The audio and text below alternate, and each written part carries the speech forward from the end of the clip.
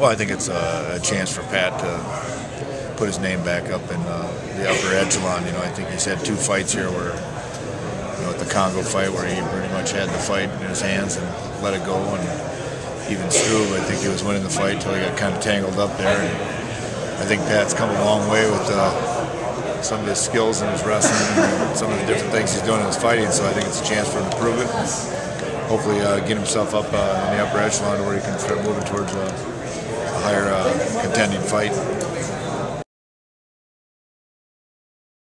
Wrestling's come along really well. Uh, you know, at some point here, you'd like to see him get a takedown in a fight. Uh, this might be a fight where it's a, a, good opportunity to take advantage of that. Uh, you know, it just depends on the fight or whatever. But right now, of course, Pat's strength is his stand-up. But as long as we can kind of strengthen him in all his areas of his wrestling and, and hopefully can keep himself out of bad situations or, or even if he's the one to put somebody else in a bad situation.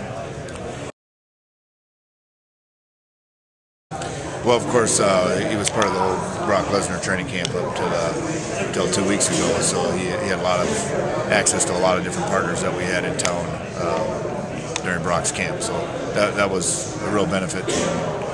And so we just uh, he just trained right along at the same time and had a little bit of different stuff here and there because they're on a different time frame, but it, uh, it worked out good for him partner-wise.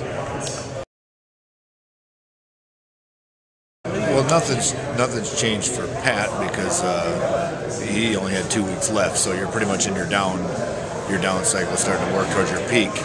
Um, so it didn't really change. We just uh, continued right through um, from Brock's fight. You know, two days later, we were back in the gym.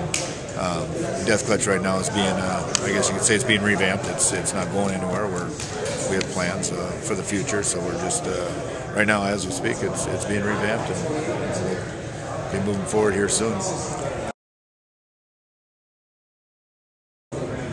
Um, you know, I think at, at, a certain point here, when Brock's ready, he'll come out and he'll he'll speak for himself in all those so right now we're just kind of waiting and let him. I'm just let him uh, speak to the public to what he was thinking and what he felt. And once again, that's you know, Brock's got to make decisions and speak for himself on that.